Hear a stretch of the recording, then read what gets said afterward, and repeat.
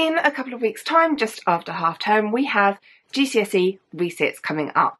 And if you are in the unfortunate position of having to resit them, then you'll know this is not a hugely fun place to be. So what I really, really want for you is to only have to resit it once and to pass it this time.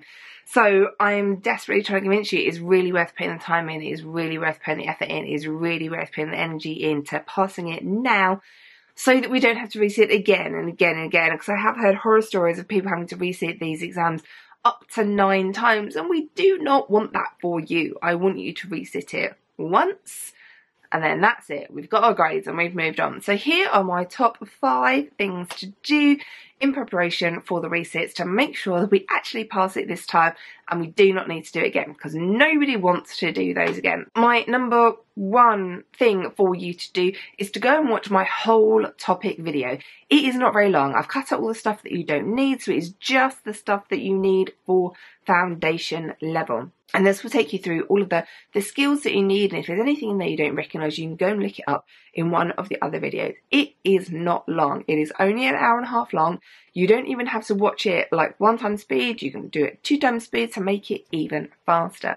To go with that, number two, is that there are predictive papers. You can download these from my website. They will cost you £1.49 and you'll get them absolutely immediately. £1.49 is an absolute bargain to avoid having to resit them again in June and then again next November and then again next June.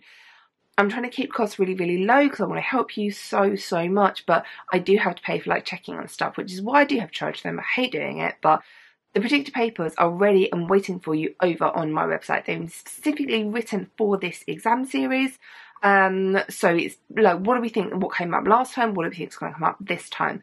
To help you go with that, if you find any topic that you don't understand, number three is the 100% free multiple choice questions that are available on my website. You can just go on my website. You don't need to log in. Don't need to give me your email address or anything. Just go to my website, try the questions, and then it will take you through to the answer at the end. I will tell you whether you got it right, tell you whether you got it wrong. You can use this for revision. Number four is that to go with the predicted papers, we have live workshops where a qualified teacher, used to be head of maths, is going to be working you through all of these papers. So you can see exactly how we get from one step to another step. You can see exactly how we do this. You can see exactly what the working is, exactly what all the different command words mean. We have loads of these going on over half term.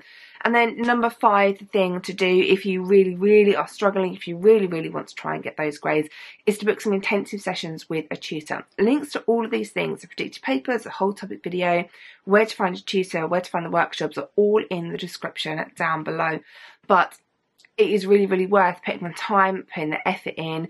Even if you have to spend a little bit of money, like getting a tutor, um, to, to actually push you to get past, promise you, if we pass it this time and you only have to resit it once, it's 100% worth it.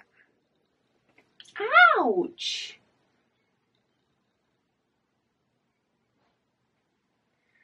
This is why in some videos I have unexplained scratches.